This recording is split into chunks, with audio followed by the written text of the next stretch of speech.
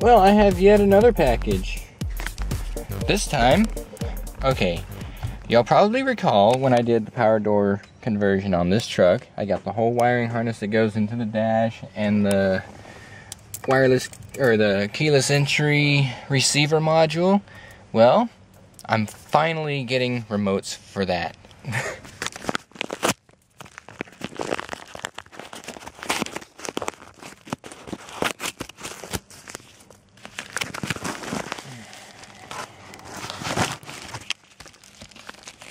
So here they are.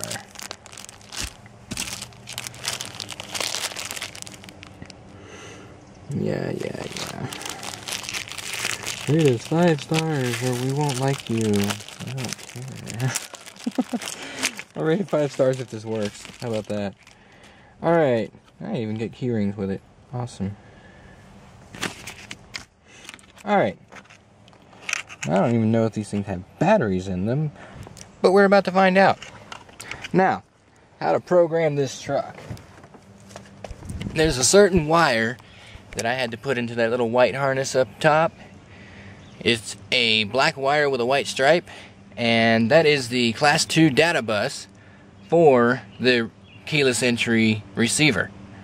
Now, what I have to do in order to program these remotes is short that line to ground. And the way you do that is you come down to this little onboard diagnostics port and you jumper a wire between number 4 and number 8. And the doors do their thing. And then you hold down both buttons on the remotes.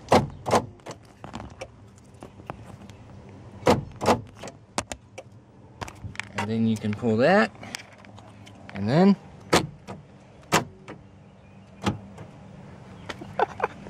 It's too easy.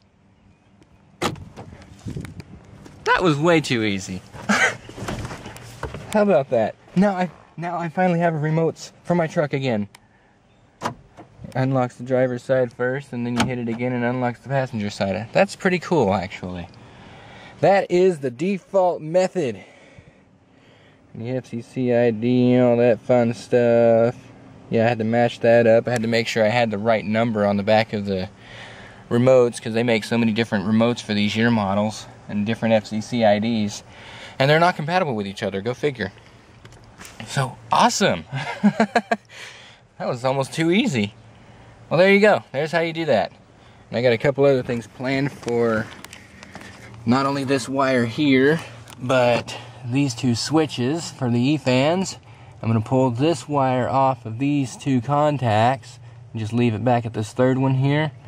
And then these two switches are actually going to be controlling relays to power the fan because of the fact that these are ground activated wires.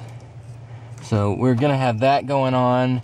And I built myself a little relay pack over here. It's kind of a mess, but it'll get the job done. These two wires here will go to the ground side on the LED, and these two will go to the switch side of the switch. And then the switches will be constant powered to the center terminal and all that fun stuff. I should have another switch around here somewhere, I think. I should be able to show you what I'm doing here. Alright, where's my box of switches? It got crushificated. Sweet, that's awesome. Now it's leaking my freaking nuts everywhere. That's just great. I wonder why that happened.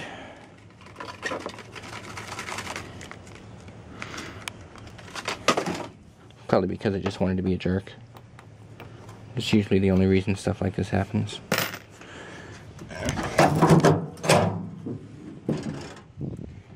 Okay. Well, looks like I need to find another box for them now. But anyway, as I was saying,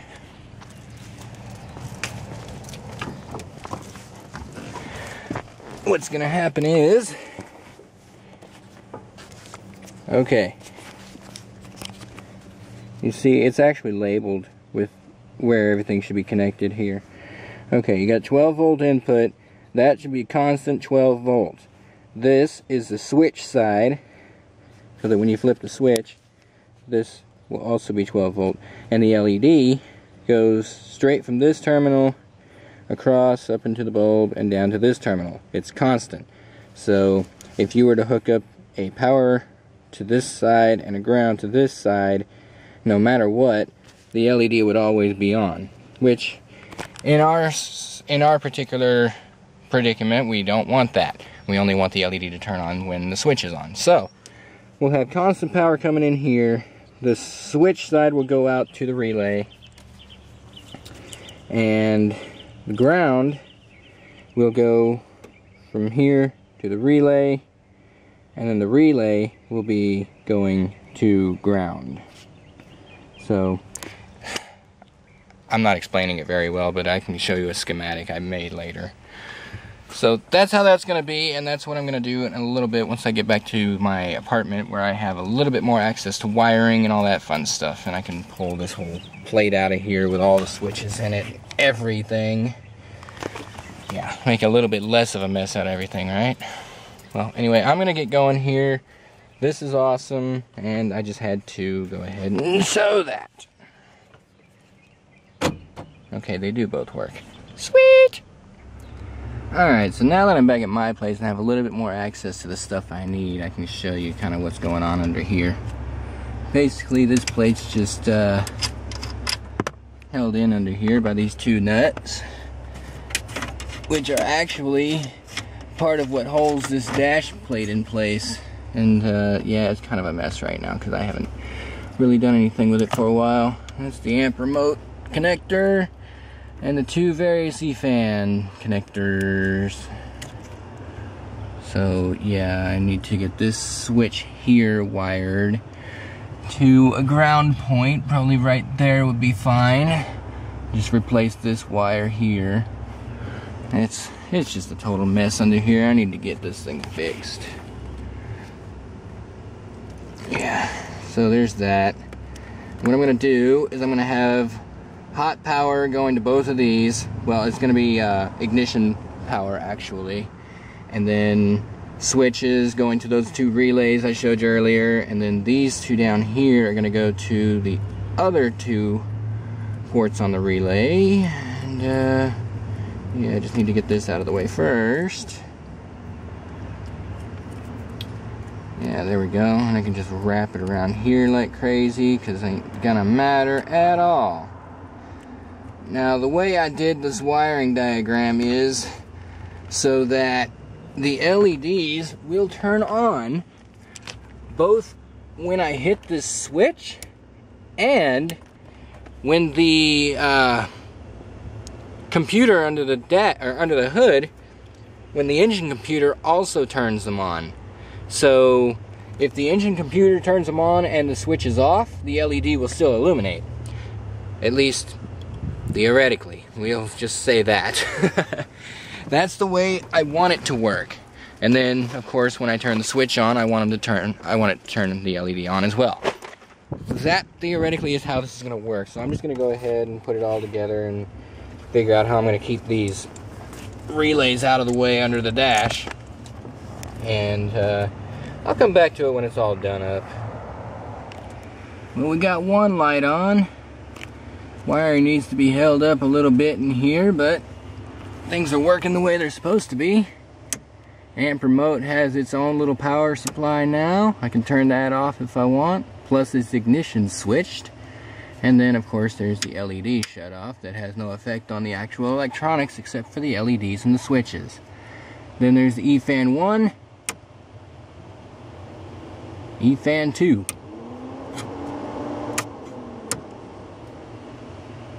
So, that is working. This is all working out a lot better than I had thought it would.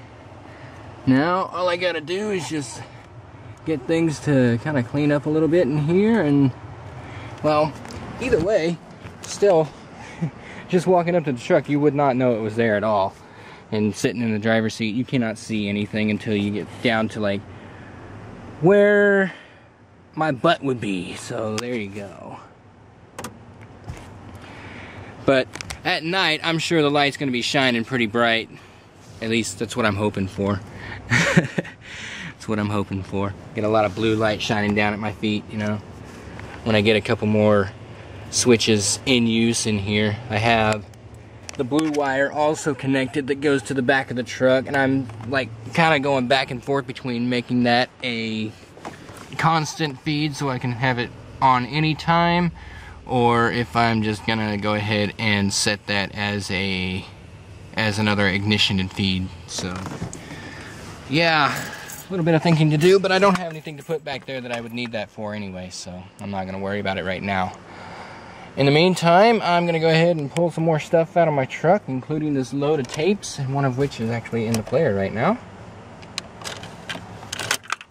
Yeah, I'm listening to the Oak Ridge Boys, because I'm into some of that old stuff. Here. Yeah, good stuff. So, I'm going to go ahead and take care of things, and I guess whatever happens will happen.